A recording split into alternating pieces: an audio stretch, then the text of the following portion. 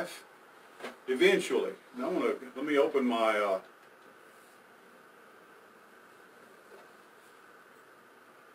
we're talking about, and this is part three, this will be the last part. Uh, actually, we're gonna, we've got probably one more message, uh, to end or conclude chapter fifteen. The last chapter of 1 Corinthians uh, is, uh, chapter sixteen, so we're about finished. But this is the third in the se- series of what happens when we die. And there is, uh, a great deal of material teaching, straightforward and explanation type teaching in 1 Corinthians 15 about what happens when we die. And so we've been looking at that, and there's the, Paul says that, uh, and the, the Bible teaches, and Christian doctrine teaches, that there is an immaterial part of us, our spirit. We are a soul. We don't have a soul, we are a soul. But we have a body, a spirit, and that's what makes our soul. And so that is our life. But in the same way that our spirit, in, in effect, at the time of conception, enters into our physical being, it also departs. And that's what happens. That's what death is. It's really the death of the physical body. It is the demise of the, uh, of the, the vessel that carries who we are. Uh, to some regard, people know us by our appearance, by what we look like, uh, our, our shape, our, the way our face looks. People recognize us. Um, but we also, our, uh, let's say we, I, I have always believed that uh, the part of us that is unsubstantial, immaterial, the, the spiritual part of us is important. If you understand this, or, or if you accept this the way the Bible teaches it, you see, Jesus tells told the woman at the well in John's Gospel, chapter 4, God is a spirit, and they that worship him must worship him in spirit and in truth. God is a spirit. Now, what the incarnation is, the Christmas story, is when God took on a human form. As a matter of fact, Jesus was given the name which uh, was just a descriptor name. It wasn't a, a name that he was called, but he was described as Emmanuel, which means God with us. Paul in second chapter of Philippians tells us that Jesus and God, uh, that, that we describe it as the incarnation. It's when God became a human being. John's gospel tells it most plainly. He says, in the beginning was the Word. The Word was with God, and the Word was God. Now, you and I, uh, I'm here with Danny and with Ronnie this morning, or they're with me, but we're not identical with each other. God is not a man. He's not a human being, but Jesus became a man. He became a baby. And, and so it is important to understand that our lives are a journey of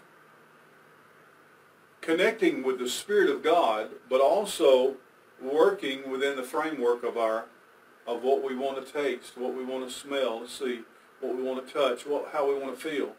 There's a struggle and there's a battle between the physical and the spiritual. Now, we do not go the route of the Gnostics who would just say anything physical is, is evil and wicked. Now, we do know that we're fallen when we're lost, that uh, when we're, we're fallen when we're born. We're born born without God, and we need we have we have to be born into the born again into the family of God. But our journey is sometimes we feel compelled to be more and more physical. And that's the, the, the route that so many take. What, what I want to taste everything. I want to see everything. I want to hear. And we to have physical experiences, and uh, not all of those are bad. Many, many of them are joyous and wonderful. And, and God created our senses so that we could enjoy and have physical enjoyment. But it is wrong to allow our physicality to be what matters most in our lives because God is a spirit. We can't see God with our eyes, and so we might not believe in God. We can't hear the voice of God with our ears. We uh, our senses seem to be useless in connecting with God. Now, there have been many, uh, there are many evidences of God. There have been many proofs of God, many uh, interactions of God with His creatures that people have seen, that they have experienced physically. They've had physical healing, miraculous things have happened before their eyes and in their ears. But those are things that, and I know that even in the world of faith and belief in religion, there are those who rely almost exclusively upon that. There's, that's the health, wealth, and wisdom gospel. The, the gospel that says you'll never be sick, you'll never be ill, you'll, you'll always have plenty of money, you, you, all of your prayers will be answered. Uh, your life will be wonderful and you won't have any problems as long as you, uh, long as you believe. Well, we find from the Bible teaching and also from experience that that is not God's intent. But we connect with him with through spiritual disciplines. We have to, our, our spirit has to, when, when Jesus said that we need to learn how to deny ourselves. He was talking, and one of the fruit of the aspects of the fruit of the Spirit is uh, self-control, or to be able to uh, bring ourselves into a, a, union so that body and spirit are working together. That's what discipline is about. That's what growing is about. Is to find the balance so that the part of me that has the ability to connect with God is not overshadowed or not hindered by my physicality. To get beyond what I can feel or see or touch. To believe more in just what I can see or experience. All of this has a balance to it. It's not one uh, great thing. When Paul is talking here, he says there is a part of us, and he says eventually what God's plan is, is to reunite us with a body. To reunite us with a body. He calls it a spirit of body. But here in chapter 15, starting with verse 50, we start on one of the last parts of the, of the leg of the journey when Paul is talking about what happens to us when we die.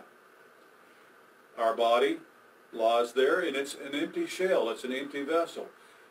It doesn't have life in it. It doesn't have light in it. It doesn't have None of the things that characterize human existence are happening in a dead body. But we do believe that what departed, or what was Paul says in 2 Corinthians, pardon me, 2 Timothy chapter 4, he says, I'm now ready to be poured out. And he, he saw himself as being a container, but he says, I am ready to be poured out. When Paul died, the part of him that was he, the I part, the himself, the his memories, his personality, his intellect, his emotions, his love, his thoughts. All of those things which are immaterial are still cohesive. They're still together. They're still a part of, they, they, they remain him, even though they depart the body. As we read from 2 Corinthians chapter 5 last week, to be absent from the body, Paul says, is to be present with the Lord. When the body dies, that part of us goes, the Bible says, to be with Jesus for the believer. Here in verse 50, he says, I declare to you, brothers and sisters, that flesh and blood cannot inherit the kingdom of God. In other words, we've got to go through a transition. We, we have to go through a change. You could say, well, why doesn't God just reach down right now and take us to heaven? Because of the fall and because of uh, the choices that mankind made with their free will, it was a departure from God and from the plan of God. And so humanity at, at large is not on track on the plan of God. We're on our plan. That's why we have to be converted. That's why we have to be regenerated. That's why we have to be reborn. That's why we have to go through a process of transition.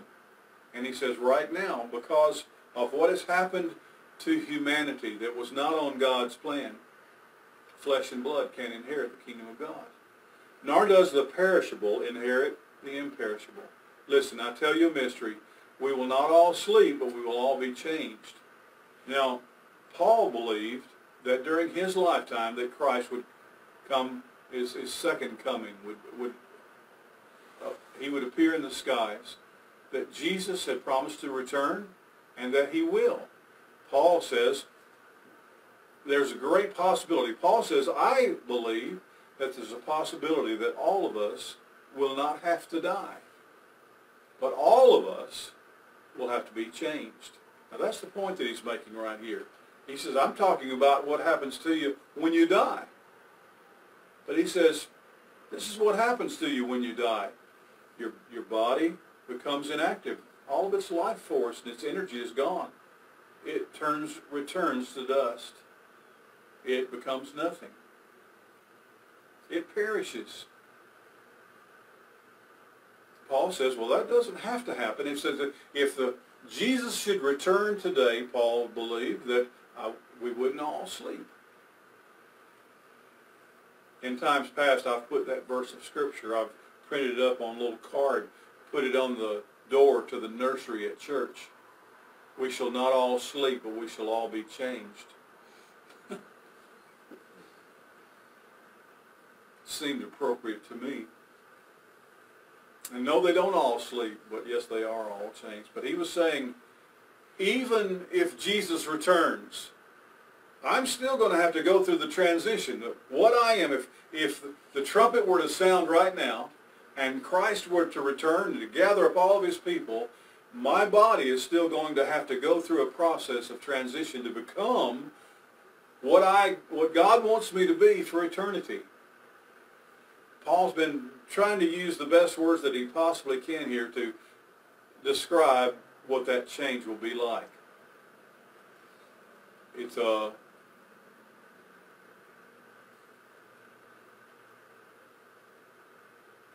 unique too. Well, on the way here, I've been been thinking of this song. There's an old quartet song that uh, I don't know if uh, Ronnie and his uh, family ever sing. You ever sing uh, "I'll Have a New Body"? Have a new body. Praise the Lord, I'll have a new life.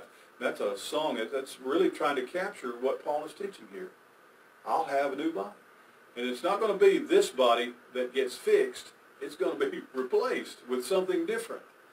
And it's the kind of body Paul is trying to say here. It's the kind of body that it works in heaven. It, it, it is made for heaven. It is fit for heaven. This body's for from it's made of the earth down here.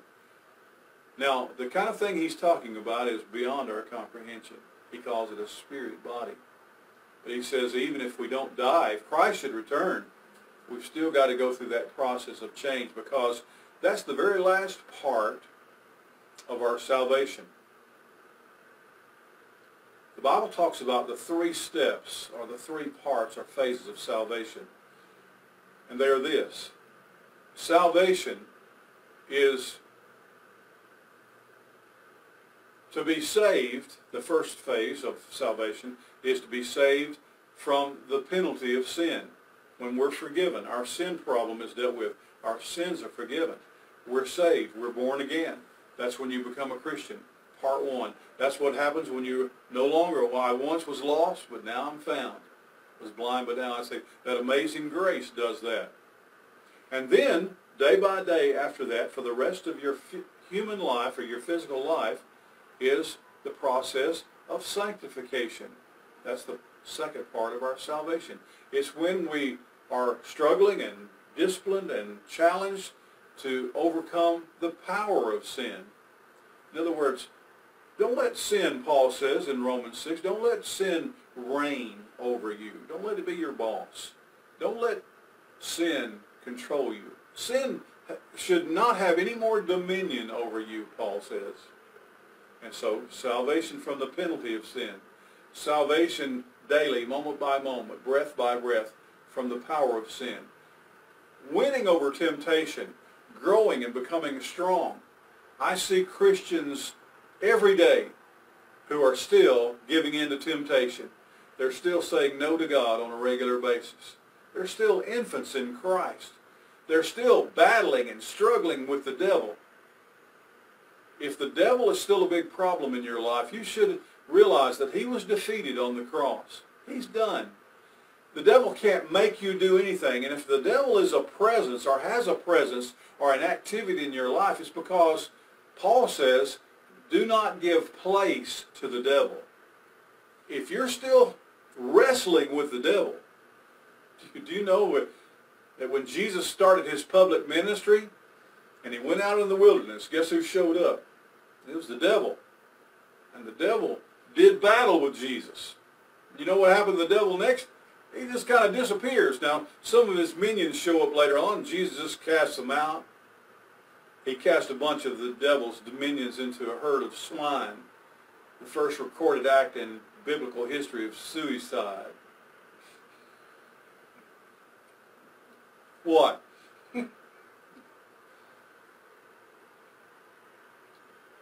Jesus didn't continue to wrestle with the devil and fight the devil for all his whole ministry. The devil came knocking on his door and Jesus whipped him hands down every time the devil and so the devil has said you know this is a waste of time. Has the devil ever decided in your life that you're a waste of his time? If he hasn't you're playing around. You're just fooling around. If you're, if you're still falling to the same old temptations, if you're still falling in the same potholes, why do you keep falling in the same ditch every day? Why do you keep banging your head against the same door frame every day? It's not scripture, but I like the old saying, it says, fool me once, shame on you. Fool me twice, shame on me. Shame on me if the devil keeps getting the upper hand on my life if the devil's in your life, if he has a presence in your life, it's only because you've invited him in, you've let him there, you've given him an open door, you've made place for the devil. Sanctification means that we must grow to a place where the devil comes to us and decides that we are a waste of his time. We're just not going to do what he wants us to do. We're never going to cooperate with him. We're never going to get in league with him. We're never even going to listen to him. You know, the Bible says, resist the devil, and he will flee from you. If the devil has a place, any place in your life, it's because you're not resisting him. Because if you resist the devil, he has to run away from you. He's defeated. He's beat. We've won the battle over the devil. Sanctification is the second phase. But then the Bible teaches, especially over in the book of Romans, Paul talks about glorification. Glorification is exactly what Paul's talking about here in 1 Corinthians 15. And that's when we're saved from the presence of sin. Salvation from the penalty of sin, daily sanctification, being saved from the power of sin. And then finally, ultimately, lastly, being saved from the presence of sin. And that's what he's talking about. We're not all asleep, but we'll all be changed. In a flash, in the twinkling of an eye, at the last trumpet, for the trumpet will sound, the dead will be raised imperishable, and we will be changed.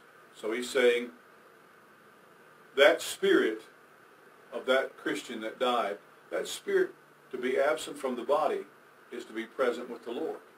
But one day Christ is going to return. He identifies it as beginning with the sounding of a trumpet.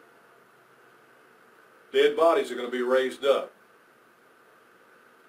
Bodies that have turned to dust. Bodies that were lost at sea have scattered to the seven seas. Molecules scattered in explosions and destroyed in fires. Bodies that were disintegrated. Bodies of people who who actually there, there, nothing, there was nothing to bury. They were never found. Not everybody is wound up, you know, and there have been people limited in their ability to imagine and believe, thought that if, if something happened, if your body was gone, then there's no resurrection, and you're never going to get to go to heaven. As a matter of fact, sometimes people thought if you cut somebody's head off, that Jesus couldn't raise them from the dead, or if you poke their eyes out, they had to stay dead and they couldn't rise up. There are even Christian factions today believe that if uh, the, any way the, the body is damaged, then it can't be resurrected. Nonsense. God made us from dust. He can gather us up from wherever we might be scattered.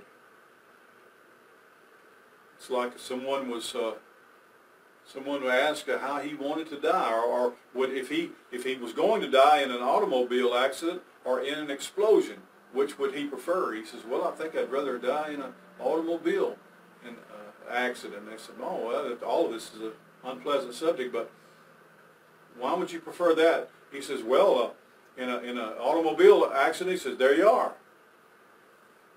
But in an explosion, where are you?" So you had a problem with that. That's not a problem with God at all. Those when Christ returns, Paul says this more specifically and clearly in 1 Thessalonians chapter 4. He says, they were worried about the dead there as well. He says, well, let me tell you what. The dead in Christ are going to rise first. He said, that's the first thing God's going to do. Those bodies are going to be regathered, reassembled. They're going to be put back together. It's going to be farther along from Star Trek than anybody ever even thought of. God can do it. He knows your DNA. He knows what you're made of. He knows every atom, every molecule. He knows where every piece and part of you belongs. You ever get an old puzzle out of the attic or out of the top of the closet and start putting it together and find out pieces are missing? That's never a problem with God.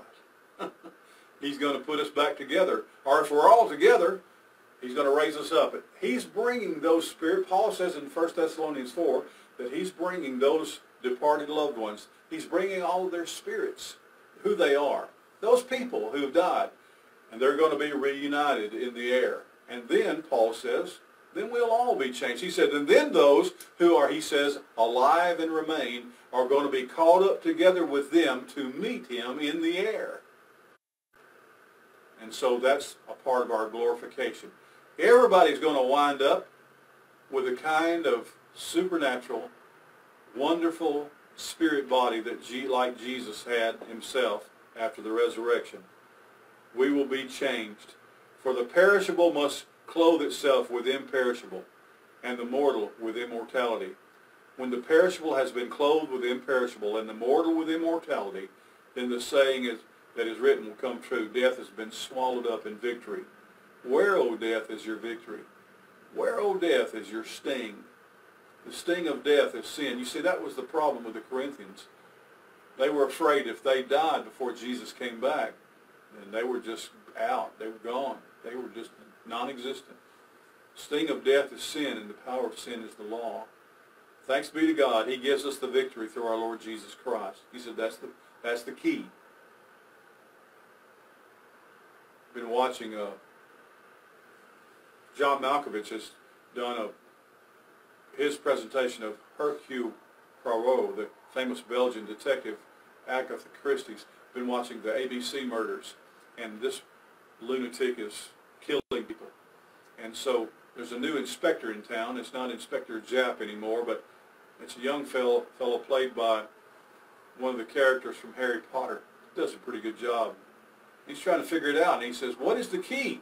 we got to find out what the key is. And Hercule Poirot says, I'm the key. I'm the key. In this story, Jesus is the key. We can look at the story of Jesus told in the Gospels. This is what it's like to die. When I die, the same thing is going to happen to me that happened to Jesus. Now, Jesus' death, burial, and resurrection were all constricted into a three-day period. Ours we, we may be in heaven, our spirit may be in heaven a very long time while our body lies in the graveyard. But one day, we'll be, God's going to follow that model, the Christ model in our lives. Always give yourselves, he, he says, therefore, my dear brothers and sisters, stand firm. Let nothing move you. Always give yourselves fully to the work of the Lord, because you know that your labor in the Lord is not in vain. You know, uh, that's what the people began to feel like. And, you know, that's really the, the case uh, against what uh, the rejection of, of the gospel. I sense it among people who don't have this hope. Talk, talked about this hope.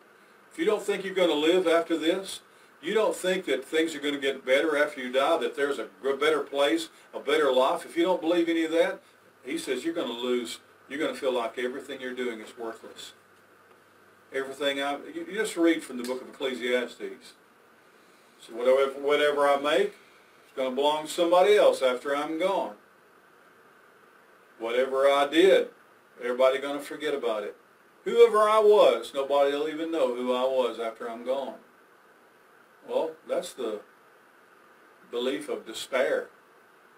What if what happens if I just die and I'm just gone? What's the point? When I was a teenager, there was a group called Kansas. Now I know all the Beatles names, but I don't know all the band members' names of Kansas. They have some great music, and one of them is Dust in the Wind. And that's a kind of a gloomy song. All we are is dust in the wind. We're made of dust. And we're dust in the wind. And then one day we'll just all be blown away. We'll be gone. We're more than just dust in the wind. We are dust that God has formed into a human life. And it is His eternal spirit that gives us vitality and gives us immortality. I believe this. I believe this because Jesus demonstrated it.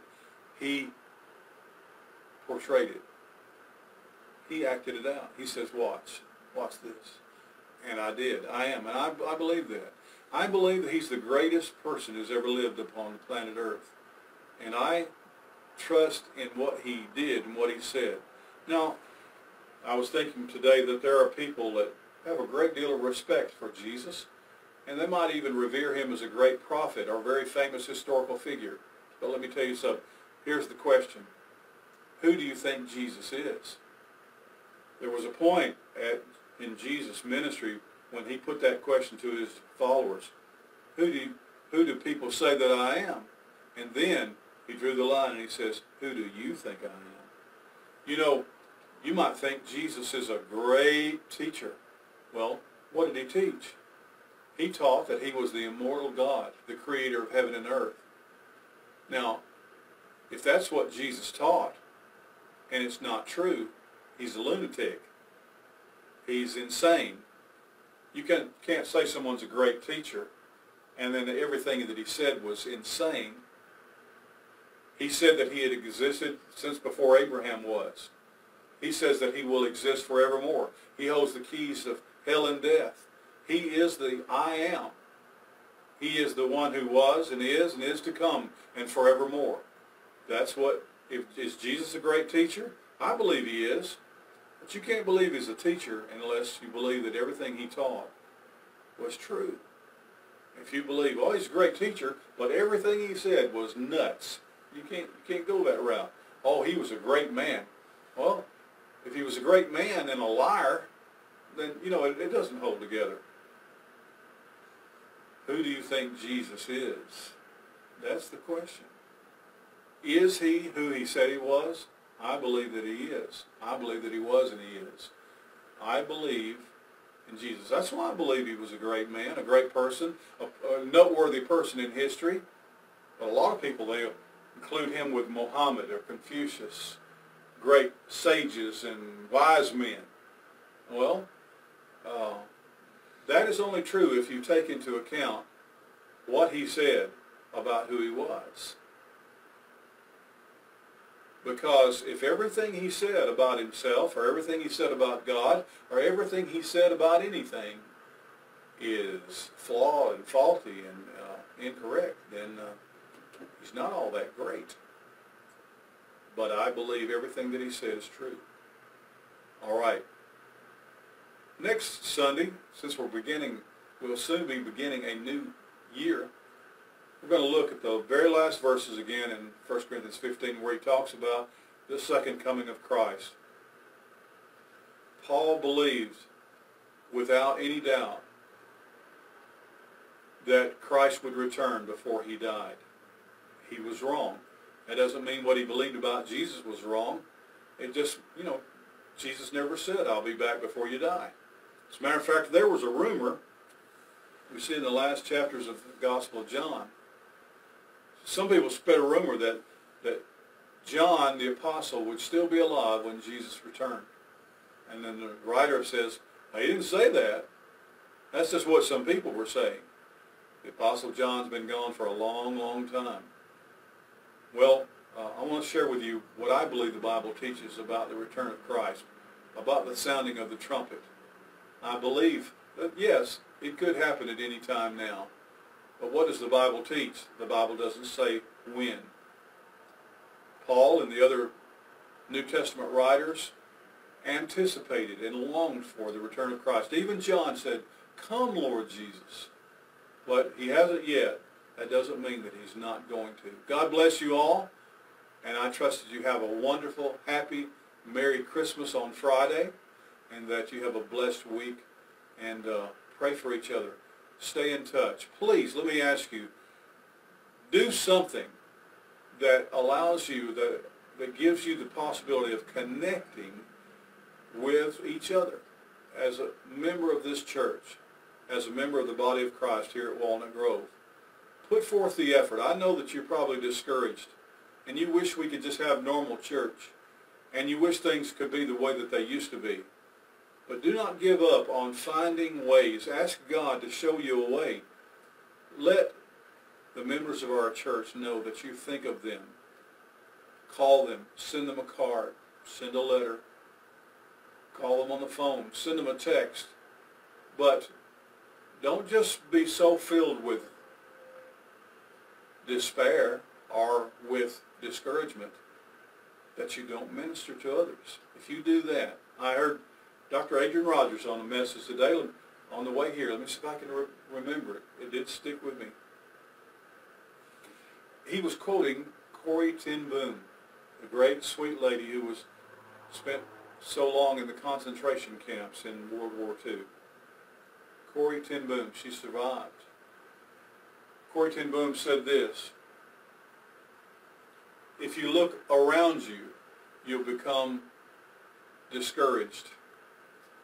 You look out, you'll be discouraged. He says if you look within, you'll become depressed. But if you look to Jesus, you'll be victorious. I believe that people today are discouraged when they're they're looking all around us. You you got you can't put your focus on that. You just can't. That's not what's important. Sometimes they I got to count on me. I got to look in here. I got to be reflective. I got to I've got to uh, take a look and take a stock of self. And that's why so many people are struggling and battling with depression these days. Look to Jesus. Look up. That's where the victory is. God bless you all. Thank you for coming, Ronnie. We appreciate it. Danny, I appreciate you being here. Merry Christmas, everybody.